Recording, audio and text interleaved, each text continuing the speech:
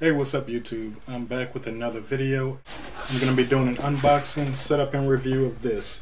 The Logitech Wireless Solar Keyboard Model K750 for Mac. So, let's get to it. So I decided to order this keyboard to replace the one that comes with my iMac. Now there's nothing really wrong with it, you know, structurally. This is the keyboard that comes with the iMac.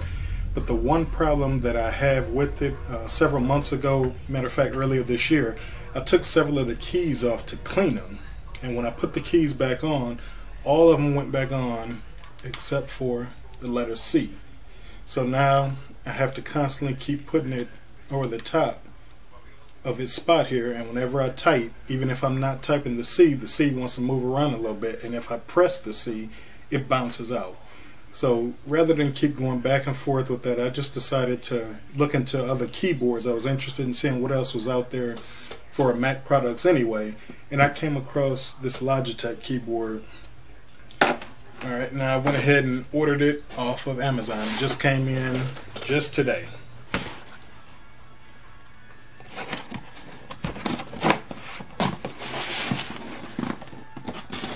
So this is something that's been out for a while.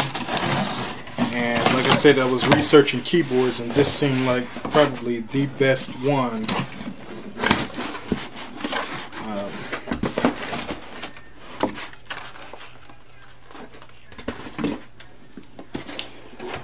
so I was looking around for several different keyboards, and this seemed to be the best one that I saw on Amazon. And one of the things that I do like about it is the keys that are on it have the uh, same full features as the one on the iMac keyboard.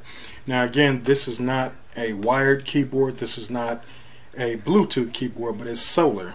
So basically what's supposed to happen with this is it draws light, whether it's from the sun or from the lights in the room, and it's supposed to last, from what I've seen and read, it's supposed to last up to a couple of months. Alright, and so this is the packaging that it comes in.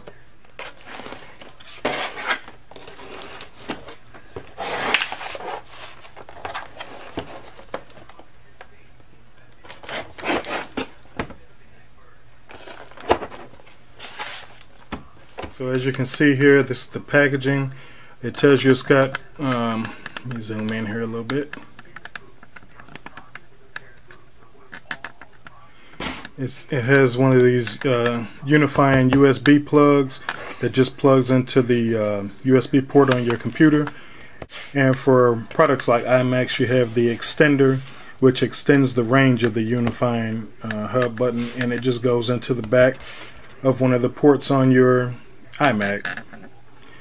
And then it lists the information here for the uh, keyboard. And as you can see, there are no instructions. I'm going over them with you now. But there are the instructions. It tells you there's a tab right at the top, which you can see right there, that yellow tab. Then it also tells you that there's an on-off switch that we're going to have to turn on. And lastly, there's an app um, that you can use. You can also download PDF instructions for it here but this solar app will tell you uh, pretty much whether or not your keyboard is charging, uh, how much battery life it has left, that type of stuff. But we're going to get to that shortly. Let's go ahead and get back to the keyboard itself. Alright, so right here, you see how it's packaged in the box.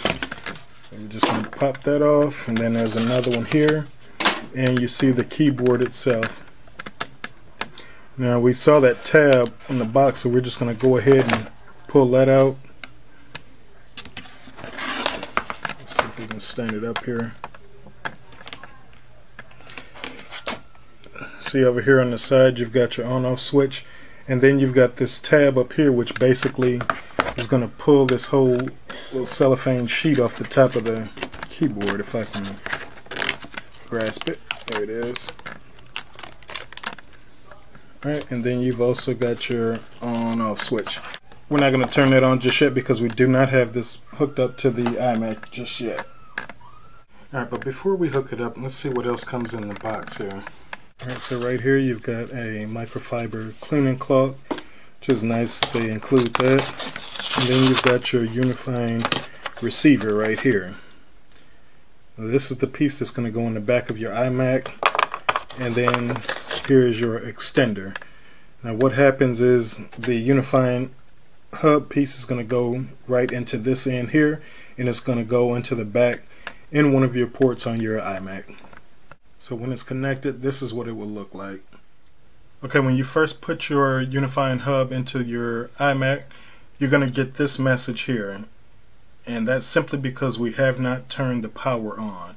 So it just tells you that your keyboard is not identified and it's not usable until it can be identified. In order to do that, please click continue. But before we do that, we want to actually go on here and pull this tab off and turn it on. Alright, right here you've got this little button that shows you the status of it. You see the green light flash.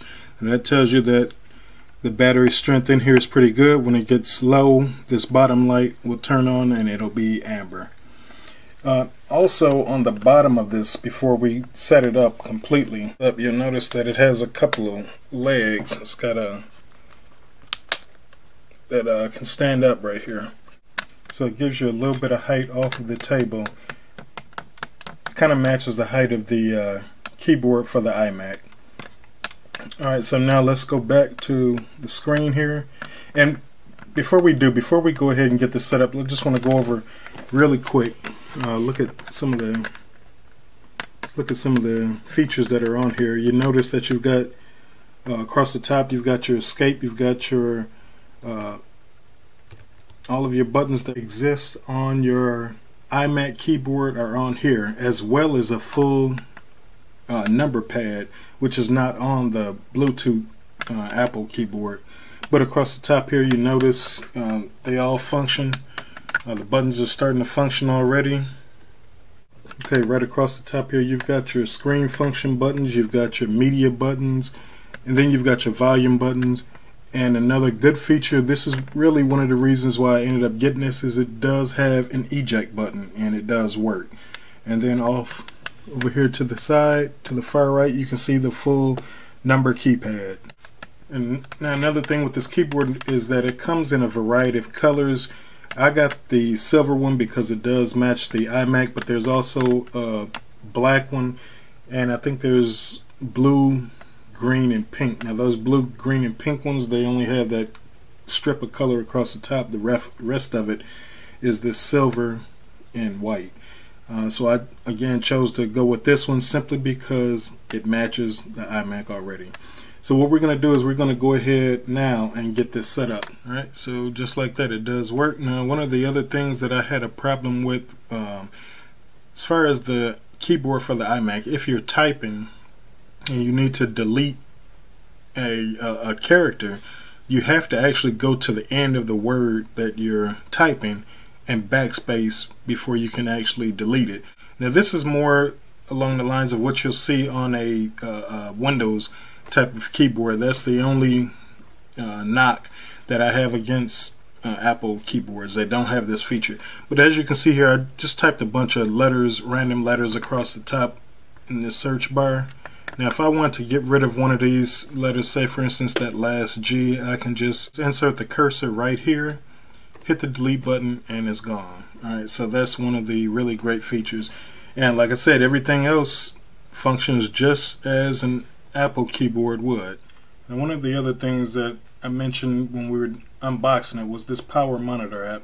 And this lets you know how much battery power you have left or how much power you're actually getting uh, from something as simple as your desk lamp. One of the things I can't tell you about this keyboard is the feel of it is just like what you would expect from an Apple, Apple keyboard. Um, from appearance all the way down to feel with the same chiclet style keyboards, although it is a little bit more comfortable um, pressing on the keys, but overall it meets the purpose of, of what I was trying to do. This has been an unboxing, review, and setup of the Logitech Solar Keyboard Model K750, which is for Mac computers. If you guys are using this, uh, let me know what you guys think in the comment section below. Uh, let me know what accessories you're actually using on your computers or with your devices. And I'll see you guys in the next video. Peace.